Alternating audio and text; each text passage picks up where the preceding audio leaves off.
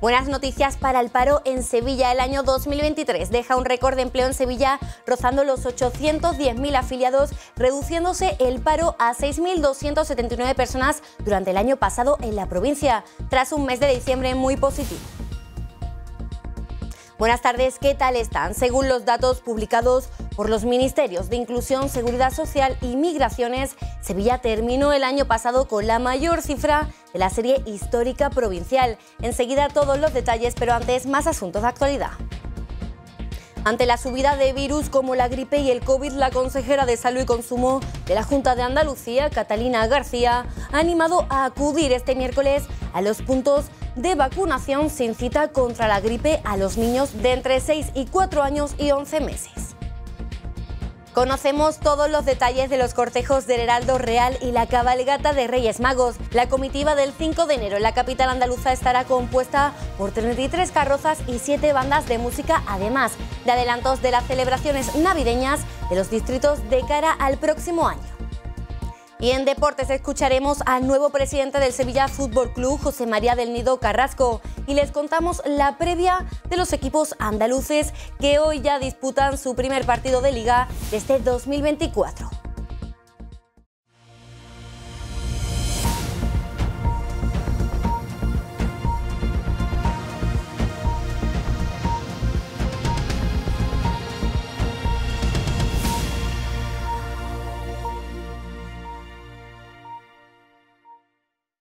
Buenas noticias para el paro en Sevilla. El año 2023 deja un récord de empleo en Sevilla, rozando los 810.000 afiliados, reduciéndose el paro a 6.279 personas durante el año pasado en la provincia, tras un mes de diciembre muy positivo. 2023 deja un récord de empleo en Sevilla. Según los datos publicados por el Ministerio, la provincia terminó el año rozando los 810.000 afiliados. Se trata de la mayor cifra de la serie histórica provincial. En 2023 el empleo se incrementó en Sevilla en 14.912 afiliados, lo que supone un aumento del 1,88% respecto del número de afiliados con que se cerró el año 2022. Diciembre favoreció estos datos con una mejora notoria en el mercado laboral sevillano, en el que la sequía y la estacionalidad del sector servicios dejaba signos de desaceleración en el segundo semestre. A pesar de la sequía, el número de inscritos en el SAE del sector de la agricultura se redujo en 314 personas, un 3,37% menos que en el noviembre pasado, coincidiendo con la campaña de la aceituna. Por su parte, el paro se redujo en 6.279 personas durante el año pasado en la provincia, tras un mes de diciembre muy positivo con 2.217 parados menos y 1.806 cotizantes más. En resumen, el año 2023 deja un balance de récord para el empleo en la provincia de Sevilla. Comisiones Obreras y UGT de Sevilla han destacado el éxito de la reforma laboral en la provincia tras cerrar 2023 con 166.535 personas desempleadas, la cifra más baja desde noviembre de 2008 y la menor en un mes de diciembre desde el 2007. En este sentido, la reducción del desempleo ha sido en el último mes del año de 2.217 personas, según los datos facilitados por el Ministerio de Trabajo y Seguridad Social y hechos públicos este miércoles. Por sectores, el desempleo ha bajado sobre todo en el sector servicios, el colectivo sin empleo anterior y la agricultura. Por el contrario, el paro ha aumentado en la construcción y el sector industrial. El secretario de Comunicación de Comisiones Obreras de Sevilla, José Manuel Torres, ha insistido en que la reforma laboral ha mejorado la calidad del empleo, ha aumentado la estabilidad y ha reducido la rotación laboral. Además, el dirigente sindical ha subrayado que aunque la citada reforma está demostrando un gran éxito, no es un punto y final, sino una medida fundamental que está marcando un camino de mejora de las condiciones laborales y de vida de la ciudadanía que el Gobierno debe seguir teniendo en el centro de su agenda para 2024. La consejera de Salud y Consumo de la Junta Andalucía, Catalina García, ha animado a acudir este miércoles a los puntos de vacunación sin cita contra la gripe a los niños de entre 6 y 4 años y 11 meses. García asegura que el virus está subiendo especialmente en el de la gripe. La titular de Salud y Consumo de la Junta ha precisado que Andalucía está por debajo de la media nacional, aunque el pico se espera justo después de estas vacaciones. En este sentido, ha insistido en medidas de prevención ya que, asegura, está subiendo el virus especialmente el de gripe, mientras que el COVID está un poco más bajo y el virus sincital también está muy elevado. Por ello ha instado a acudir este miércoles 3 de enero a vacunarse sin necesidad de tener cita y aumentar esa tasa de vacunación que sigue siendo baja. Ha manifestado la titular de salud, quien ha adelantado que la semana que viene se prevé organizar otra vacunación sin cita para que los andaluces tengan la oportunidad y la accesibilidad suficiente. Según ha detallado, la tasa de vacunación de COVID está en el 39%, mientras que en la gripe está por debajo del 51% en mayores de 60 años y en menores está igualmente baja. Por contra, ha valorado el dato espectacular en bronquiolitis con una tasa de vacunación del 92%, lo que ha originado que haya 50 niños y niñas ingresados por esta afección en hospitales andaluces cuando el año pasado eran 400. El consejero de Presidencia, Interior, Diálogo Social y Simplificación Administrativa, Antonio Sanz, ha manifestado que el dinero ya reconocido por sentencia del caso de los ERE por ahora es de unos 60 millones de euros tras las reclamaciones que la Junta de Andalucía está realizando por distintas vías. Sanz ha querido dejar claro que la voluntad de la Junta es luchar por recuperar hasta el último euro que se ha defraudado de los andaluces desde la, desde la Junta de, Andalucía nuestra mm, voluntad es eh, luchar por recuperar hasta el último euro que, se ha defraudado de, de, los, de los, andaluces. Eh, nosotros nos gustaría mayor agilidad de todos esos procedimientos, teniendo en cuenta que existen casi 200 piezas y prácticamente solo se han calificado 78. En ese sentido, nosotros eh, vamos estamos peleando por, hasta el último, por alcanzar hasta el último euro. Para eso hemos eh, desarrollado hasta 233 expedientes de, revisión, eh, donde lo que planteamos es procedimientos de reintegro de ayuda y lo hemos reclamado en esos 233 expedientes de revisión por un montante de 129,1 millón de euros. Este miércoles el Ateneo ha dado a conocer los últimos detalles del Heraldo Real y la cabalgata de los Reyes Magos de Sevilla. La comitiva del 5 de enero estará compuesta por alrededor de 800 beduinos y siete bandas de música. Alberto Romera. En la mañana de este miércoles ha tenido lugar la tradicional rueda de prensa sobre el Heraldo Real y la cabalgata de Reyes Magos. Esta cita se ha celebrado en el restaurante La Raza Puerto y ha contado con la presencia de Manuel Alés, delegado de Fiestas Mayores de la ciudad de Sevilla. También han asistido Manolo Sainz y Pedro Lisén, director y coordinador de la cabalgata respectivamente, y por supuesto ha asistido el presidente del excelentísimo Ateneo, Emilio Boja, que ha intervenido incidiendo en la calidad humana de todos aquellos que componen y preparan el cortejo. TUSAM planifica para estas fechas un incremento de su oferta de hasta el 100% en algunas de sus líneas y el dispositivo de la Policía Local de Sevilla para la cabalgata estará compuesto por 188 agentes preparados para velar por la seguridad del evento. El cortejo de Su Majestad de los Reyes Magos de Oriente contará con 3.000 personas, incluyendo 450 voluntarios, las 7 bandas de músicas, 800 beduinos y 50 cabellistas. Asimismo, Manolo Sainz ha afirmado que habrá cerca de 100.000 kilos de caramelos en la cabalgata de Reyes Magos de Sevilla. Y como antes ha dicho el delegado, yo creo que estamos ante el mejor cortejo de la historia, la verdad. O sea, yo estoy contentísimo. Y no hay duda que es la mejor cabalgata del mundo mundial. Gracias, Alberto. En este mismo acto, el delegado de Fiestas Mayores, Manuel Alés, ha anunciado que el ayuntamiento pretende reorganizar las celebraciones navideñas de los distritos de cara al próximo año.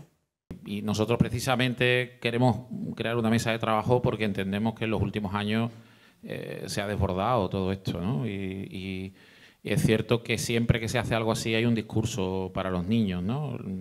eh, es verdad que hoy estamos aquí para hablar de la cabalgata de Sevilla, no estamos para, para, hablar de la cabalgata de los distritos, pero bueno, ya que lo preguntas, si el Ateneo no tiene ningún inconveniente, aunque sea un tema ajeno a, a la cabalgata, yo encantado de contestar. Siempre, siempre entiendo que cuando se hace algo así hay un discurso para los niños. Yo que tengo tres hijos, pues evidentemente estas cosas pues me resultan, siempre resultan chocantes, pero la, la, mm, la realidad es que aquello fue un pasacalles, igual que hay tantos, tantos otros, hay pasacalles con más contenido, pasacalles con menos contenido. Y eh, eh, bueno, lo que decía era como que venían los reyes, ¿no? A acampar, como ha dicho el, el, Heraldo, ¿no? Que estaba por aquí acampando, igual que la cabalgata del 6 por la tarde es que se están marchando, ¿no? En fin, siempre hace falta hacer un discurso, pero sí es cierto que hace falta poner un poquito de, de orden. Las cabalgatas de los Reyes Magos llegarán a Sevilla con cielos nubosos, pero sin precipitaciones importantes, aunque hará frío con mínimas de hasta 3 grados centígrados, donde soplará el viento, según la predicción de la EMET. Según ha explicado el delegado de la agencia en Andalucía, Ceuta y Melilla, Juan de Dios del Pino, el jueves 4 de enero podrían llegar lluvias, sobre todo a partir del mediodía, con bastante probabilidad a partir de las 7 u 8 de la tarde.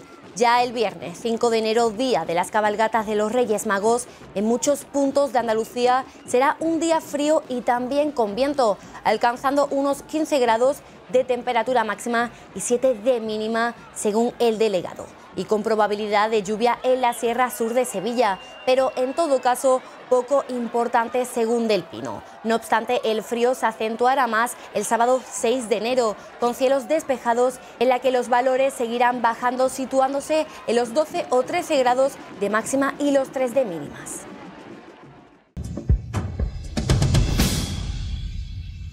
El Real Alcázar de Sevilla recibió casi 2 millones de visitas en 2023. Los datos publicados por el ayuntamiento demuestran que se han recuperado las cifras de la prepandemia. Este monumento, que se trata del palacio en uso más antiguo de Europa, espera además un incremento de visitantes en los próximos meses. Alejandro Vieira.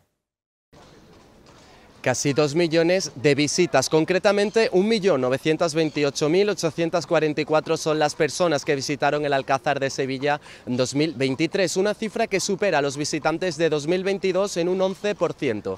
El comportamiento general mes a mes ha sido mejor al del año anterior, con mejores cifras en 11 de los 12 periodos comparados. Solo el mes de octubre registró menos visitantes que en 2022. El mejor mes fue en mayo con 215.050 visitas, por lo que el Real Alcázar ha confirmado con la publicación de estos datos que se han superado las cifras anteriores a la pandemia. Largas colas casi diarias como esta caracterizan a esta Plaza del Triunfo donde se encuentra la entrada al monumento y es que se ha convertido en una visita imprescindible para todo aquel que llega a Sevilla. A partir de febrero acoge además en sus jardines el espectáculo de luces Naturaleza Encendida para hacer aún más especial sus rincones y esperando aumentar más si cabe las visitas. El monumento cuenta con un estudio técnico que fija el límite del número de visitas anuales para preservar su conservación en 2,2 millones como tope de seguridad. Gracias Alejandro, el Ayuntamiento de Sevilla ha reconocido con giraldillos a los ocho deportistas del Club Náutico Sevilla, más laureados en 2023, entre los que se encuentran Javier García y Jaime Canalejo, diploma olímpico en los Juegos de Tokio en remo. El alcalde de Sevilla, José Luis Sanz, ha entregado este miércoles los giraldillos al mérito deportivo a ocho deportistas del Club Náutico Sevilla en un acto en el que han estado presentes también la delegada de deportes Minerva Salas y la presidenta del club Alicia Caballero. Entre los deportistas que han recibido la distinción por sus méritos deportivos se encuentran Javier García y Jaime Canalejo, diploma olímpico en los Juegos de Tokio en remo y el pasado año medallistas en la Copa del Mundo y el Campeonato de Europa, además de clasificar a España en dos sin timonel para los Juegos de París. También Cayetano García de la Borbolla y Pablo Martínez, diploma olímpico en los Juegos de Tokio en piragüismo y medallistas el año pasado en el Campeonato del Mundo, en el que clasifican a España para los Juegos de París en C2 500 metros. El resto de deportistas reconocidos han sido Javier Reja, diploma paralímpico en Tokio en remo, Daniel Sánchez, campeón mundial de vela en la clase raceboard, y la windsurfista Olivia Sánchez, subcampeona del mundo y bronce del europeo en la clase Tecno Sub 13, entre otros. La Hermandad de las Cigarreras organiza una inédita despedida de Rey Baltasar, prolongando la Navidad hasta el 7 de enero en el barrio de Los Remedios. Se trata del tercer y último cortejo navideño que pase por la calle Asunción en tan solo 10 días. La Hermandad de las Cigarreras organiza este domingo a las doce y media del mediodía una inédita despedida del Rey Baltasar que anticipa la llegada del tiempo cofrade según la Hermandad de los Remedios. Se trata del tercer cortejo navideño que transcurre por la calle Asunción en tan solo 10 días y el último en desfilar por las calles de Sevilla, ya que habitualmente no se suelen celebrar eventos navideños pasado el 6 de enero, día que tradicionalmente concluye la agenda navideña con las cabalgatas de los barrios. Además, Baltasar contará con la compañía de un pasacalles musical y un sorteo solidario cuya participación tan solo requiere de un euro. Posteriormente se realizará en la misma calle Asunción una rifa con más de 50 regalos y premios donde todo lo recaudado irá destinado al Centro de Atención Educativa Virgen de la Victoria, que tiene como objetivo apoyar el desarrollo académico de los menores del barrio y atender a aquellos que precisen de atención psicológica. Cabe reseñar que el Ayuntamiento de Sevilla creará una mesa de trabajo de cara a las próximas Navidades para reorganizar los. Cabe reseñar que el Ayuntamiento de Sevilla creará una mesa de trabajo para la próxima Navidad y de esta forma reorganizará el desbarajuste actual con la saturación de heraldos, carteros reales y cabalgatas que ya superan los 40 eventos navideños en tan solo 10 días. Les dejamos ahora con la actualidad deportiva de la ciudad de la mano de Fran Campos.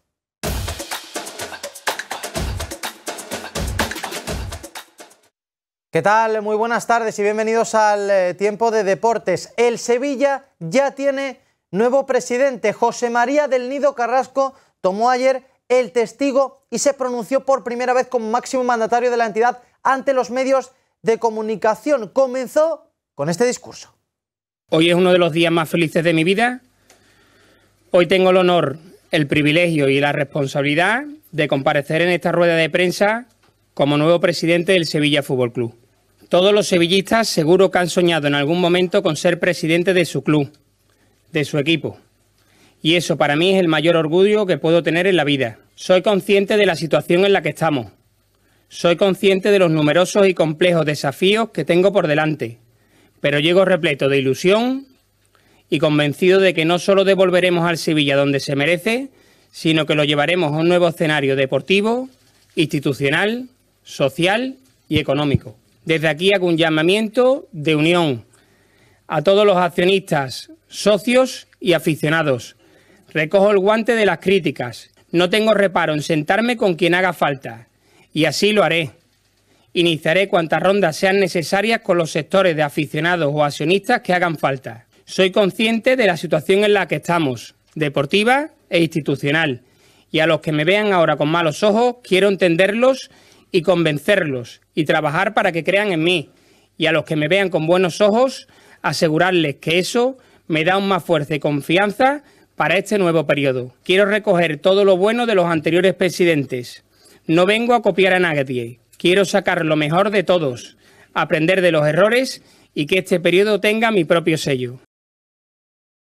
El hasta ahora vicepresidente entró a la sala sonriente y acompañado por el que ha ocupado su cargo durante los últimos 10 años. Un Pepe Castro al que veíamos desahogado y también sonriente por este paso al lado que da en esta nueva etapa. Había muchas preguntas que hacerle a José María del Carrasco. ¿Qué mensaje le mandaba al sevillismo? ¿Le tiende la mano a su padre, principal cabeza de la oposición? ¿Y cómo pretende revertir este mal momento que está viviendo la institución en global? Esto dice. A los que no me quieran voy a trabajar y me voy a dejar la vida para que me quieran un poquito. Y a los que me quieran voy a dejarme la vida para que me quieran más. Yo creo que el club está en un momento esencial, hay que seguir modernizando el club, hay que seguir trabajando para que las áreas sigan creciendo, hay que volver, como hemos dicho, a nivel deportivo a nuestro modelo de jugador más desconocido, joven y revalorizable. Pepe ha liderado durante 10 años el club, creo que de manera muy exitosa, y desde aquí quiero tener un reconocimiento con su figura y darle las gracias por la magnífica labor que han hecho, y no porque lo diga yo, sino porque están sus números deportivos y de todas sus áreas. Como sevillista daré las gracias también por todo lo que disfrutaba bajo su mandato. Yo lo he ayudado a él como vicepresidente y ahora me toca a mí ser presidente. Yo voy a liderar el club a mi manera, en mi mandato, en mi momento y yo voy a ser el presidente del Sevilla, la forma en la que yo entiendo que debo de ser el presidente del Sevilla. El Consejo de Administración se reunió el día 31 de diciembre y por una mayoría aplastante, como he comentado, nombró presidente del Sevilla José María del Nido Carrasco.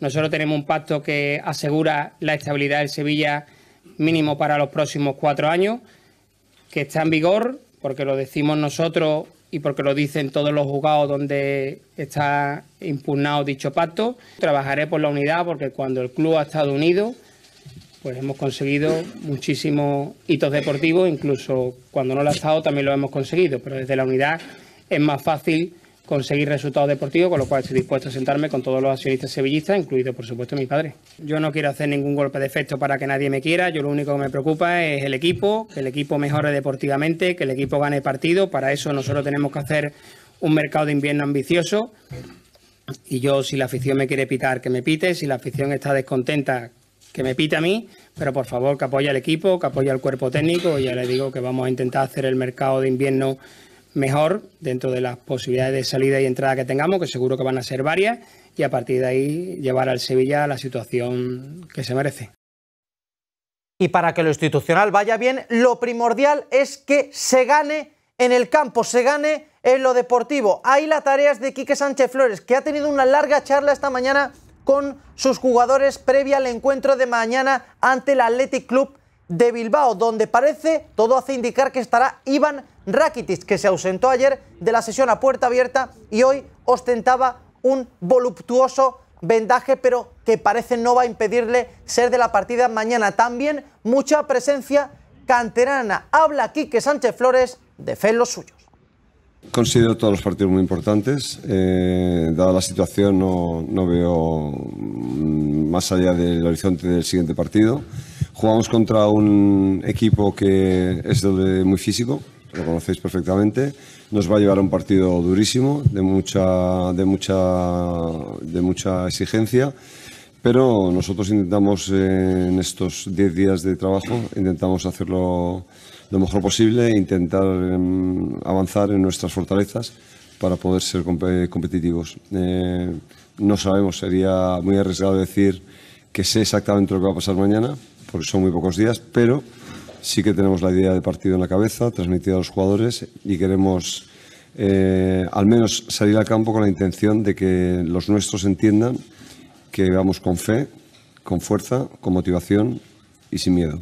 Bueno, nosotros intentamos estar en un estado de esperanza constante, entrenamos para eso, para sentirnos fuertes en, un determinado, en una determinada dirección y aunque es corto el tiempo que llevamos juntos, sabemos que el camino está marcado y que la dirección es la que es. Y a partir de ahí todos tenemos que ir en, esa misma dirección. Y en estos momentos está disputando su encuentro el Real Betis Balompié. Mañana les ofreceremos todas las imágenes de ese partido frente al Celta de Vigo. Pero hablaba Manuel Pellegrini en la rueda de prensa previa de algo importante, posibles movimientos que pueda haber en el mercado de fichajes. El ingeniero, por sus palabras, parece pedir refuerzos en la zaga y ojo porque no descarta ni mucho menos la posible venta de Asandia.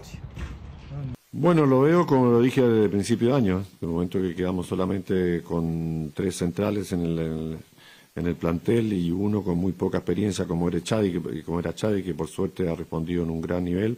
Después la lesión de Mar Bartra nos hizo sentir inmediatamente esas falencias. Ahora, por otros motivos, nosotros no tenemos a Chadi, seguimos con la misma falencia, tenemos Copa del Rey y Liga permanentemente en mitad de semana y semana, y ojalá que no pase exactamente lo mismo que en la Europa League, donde quedamos, como digo, eliminados en ese último partido, justamente por quizás la escasez de defensores que teníamos. Así que ya veremos cómo se nos presenta el futuro y ya veremos quiénes son los jugadores encargados de tratar de suplir eh, la ausencia y esperar de que no haya algún lesionado más. Todos esos rumores quiere decir que Hassan lo ha hecho bien, yo creo que es importante, ya sabemos las necesidades económicas que tiene este club, si entonces hay una oferta que realmente soluciona un problema en un momento que puede ser reemplazado, eh, yo creo que se va a tomar la mejor determinación para, para el club. Distinto la otra vez donde no había posibilidad de reemplazarlo, así que en eso estamos muy claros que hay una oferta que realmente solucione el problema, yo creo que la oferta si existe, seguramente se va a concretar.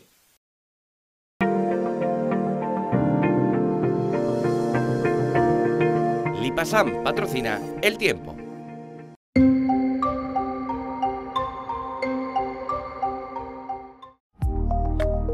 El tiempo para este jueves 4 de enero en Sevilla presenta cielos cubiertos con precipitaciones moderadas y ocasionalmente acompañadas de tormenta, que pueden ser localmente fuertes o persistentes a partir del mediodía. Brumas matinales sin descartar nieblas, temperaturas mínimas en ascenso, máximas sin cambios. Vientos flojos a moderados del suroeste, ocasionalmente fuertes a partir de la tarde, girando a noreste al anochecer. ¿Qué tenéis en común Cervantes? ¿Lorca? ¿Machado? ¿Y tú? El amor por Sevilla. Pero recuerda, a Sevilla un gesto le valen más que mil te quieros. Cuidemos Sevilla. Lipasam, Ayuntamiento de Sevilla. Y nos despedimos recordándoles que el próximo 4 y 5 de enero estaremos en directo retransmitiendo la salida y recorrido del Heraldo Real y la cabalgata de los Reyes Magos. 101 Televisión os llevará a partir de las 5 de la tarde en directo el recorrido y todos los detalles del Heraldo Real de Sevilla. Gracias por acompañarnos. Vive la Navidad en tu televisión 101. 4 de enero, en directo, acompañamos al Heraldo Real por las calles de Sevilla. Y el 5 de enero, cabalgata de los Reyes Magos. Vive la Navidad en tu televisión 101, la televisión de Sevilla, también en Navidad. ¡Feliz Navidad!